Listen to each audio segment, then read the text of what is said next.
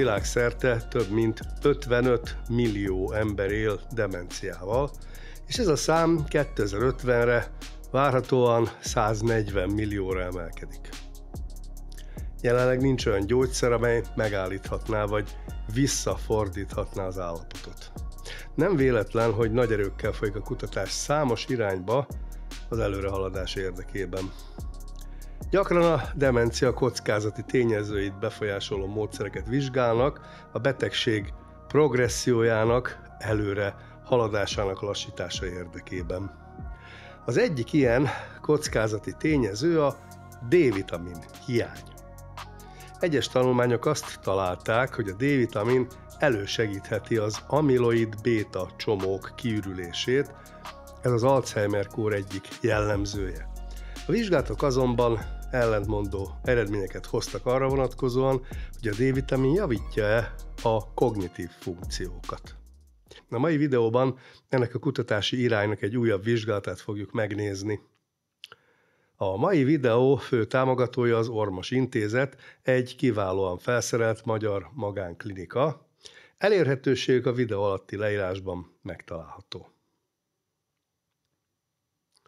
A közelmúltban közzétett vizsgálatban a kutatók felmérték a kapcsolatot a D-vitamin pótlás és a demencia előfordulása között. Azt találták, hogy a D-vitamin pótlása összefüggésben áll a demencia előfordulásának csökkenésével. A tanulmányhoz a kutatók több mint 12 ezer ember adatait elemezték. Ezek az emberek a vizsgálat kezdetén demenciamentesek voltak, és átlag életkoruk 71 év volt.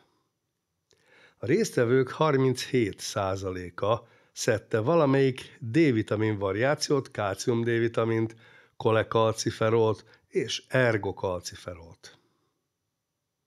Elemzéseikben a kutatók demográfiai, klinikai és genetikai változókat is figyelembe vettek, mint például a depressziót vagy az APOE4 státuszt, ez a génváltozat a demencia magasabb kockázatát jelzi. Öt év elteltével a kutatók azt találták, hogy a D-vitamin kiegészítőket szedő személyek 83,6%-a életben volt, és nem volt demenciájuk szemben a D-vitamint nem szedő személyek 68,4%-ával. A kutatók 10 év után azt találták, hogy a résztvevők 22%-kal alakult ki demencia, és ezek háromnegyede nem szedett D-vitamin kiegészítőket. Másképp fogalmazva, a D-vitamin szedők 14,6%-ánál demencia fejlődött ki, míg a D-vitamint nem szedőknél ez az arány 26% volt. 14-26. További paramétereket vizsgálva, beleértve a kognitív állapotot, tehát a gondolkodás képességét, a, aztán a depressziót és az ApoE4 gén jelenlétét is figyelembe véve azt találták, hogy a D-vitamin szedés esetén 40%-kal alacsonyabb a demencia kialakulásának kockázata a nem szedők csoportjához képest. A hatás a nők körében volt a legkifejezettebb. A D-vitamin szedő nőknél 49%-kal kisebb volt a demencia kialakulásának esélye, azokhoz képest, akik nem szedték. A D-vitamint szedő férfiaknál 26%-kal kisebb volt a demencia kialakulásának esélye a nem szedő férfiakhoz képest. Tehát a hölgyeknek különösen megér odafigyelni a D-vitamin bevitelre, ar- arról nem is beszélve, hogy nőknél sokkal gyakoribb az Alzheimer, illetve a demencia. És a kutatók azt is megállapították, hogy a depresszió összefüggésben áll a demencia 35%-kal magasabb előfordulásával. Hogyan hozhatók összefüggésbe a D-vitamin kiegészítők a demencia alacsonyabb előfordulásával? Korábbi tanulmányok kimutatták már, hogy az alacsony D-vitamin szint a demencia például az Alzheimer-kór kialakulásának kockázati tényezője. A D-vitaminnak a csontok egészségének megőrzésén túl ugye számos funkció van a szervezetben, jóval több annál, mint amire az emberek egyébként gondolnak. Ahogy említettem, a memóriazavarok szempontjából a D-vitamin szerepet játszik a beta-amiloid nevű fehérje eltávolításában, mely az Alzheimerben szenvedő emberek agyában halmozódik fel. Segít megvédeni az idegsejteket azoktól a sérülésektől is, melyeket a demenciában szerepet játszó egyéb abnormális fehérjék okoznak. Az immunitás szintén ott lehet a D-vitamin demenciával kapcsolatos előnyei mögött. Egyes kutatók szerint a D-vitamin úgy csökkenti a demencia kockázatát, hogy az immunitás kiegyensúlyozását segíti elő. Feltételezhető, hogy az amiloid lerakódás egy túlzott gyulladásra adott válasz. Olyasmi, mint egy olyan sebb tapasz, amelyet a szervezet egy gyulladásos pontra helyez. Ez megmagyarázhatja azt is, hogy a nők egyharmadával nagyobb valószínűséggel kapnak Alzheimer-kort. Ez amiatt van, mert a nők sokkal hajlamosabbak az autoimmun betegségekre, háromszor nagyobb valószínűséggel szenvednek lupusban például, vagy reumás izületi gyulladásban, fibromialgiában, és számos más immun, illetve autoimmun problémában. Gyanítható, hogy ennek az az oka, hogy egy nő immunrendszere alapvetően különbözik a férfiakétől. Ugye egy nőnek két X-kromoszómája van, míg a férfinak csak egy. Az immunitás szabályozó gének pedig, ezeknek a nagy része az X-kromoszómán található.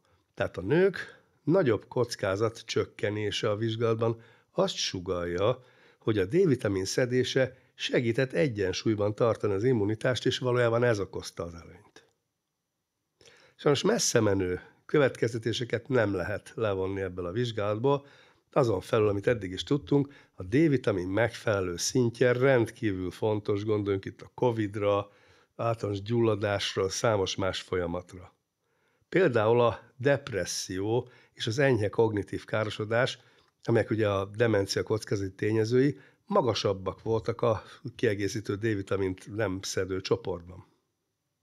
Viszont Ezeket a változókat a kutatás során nem ellenőrizték. Tehát nehéz tiszta értelmezést levonni az adatokból. Ugye, miközben a D-vitamin több készítménye is szerepelt a vizsgálatban, a D-vitamin kiegészítés napi adagját, valamint a D-vitamin kiindulási és követési vérszintjét azt nem regisztrálták a tanulmányban. Ez tisztázatlanná teszi, hogy az alacsony, normál vagy magas D-vitamin vérszint mennyire járul hozzá a kockázathoz, illetve annak a csökkentéséhez. Tehát megint csak korreláció van, nem pedig okokozati összefüggés. A D-vitamint szedők lehetnek például ugyanazok az emberek, akik összességében jobban vigyáznak magukra, nagyobb figyelmet fordítanak az egészségükre, a táplálkozásukra, ami aztán a demencia elleni védelem egyfajta oka lehet önmagában is, D-vitamin nélkül. A tanulmány továbbá nem vett figyelembe olyan tényezőket, mint a társadalmi-gazdasági státuszban fennálló különbségek, a napsugárzásnak való kitettség, más egyéb kiegészítők szedése, amelyek mind hozzájárulhatnak a demencia kockázatának a csökkentéséhez. Az eredmények további nagyobb tanulmányokat tesznek szükségessé, beleértve kontrollált kísérleti klinikai vizsgálatokat, amely, amelyekben az embereket véletlenszerűen D-vitamin szedésre osztják be, hát valami fajta placebo kontrollal gondolom én. Azt is fontos megjegyezni, hogy a túl sok D-vitamin bevitel egészségügyi problémákat okozhat, ezért a megfelelő adag beállítására is szükség van. Ma már tucatnyi egészségügyi tényezőről tudjuk, hogy csökkent az Alzheimer kockázatát, a betegeknek és az orvosoknak korrigálni kellene ezeket a tényezőket is az optimális állapot elérésére. Gondoljunk itt a vércukorszintre, az inzulinrezisztenciára, a vérzsírok helyzetére, vagy az általános gyulladásos folyamatokra. Több tényezős elemzés és beavatkozásra van szükség, és minél korábban kezd az ember, annál jobb. A megelőzés továbbra is a legfontosabb marad, és akkor megint itt van egy érdekes kapcsolat. A D-vitamin és a glutatión prekurzor, prekurzor NAC kombinációval történő kiegészítés előnyösebb, mint csak a D-vitamin, és elősegíti a sikeresebb D-vitamin pótlást.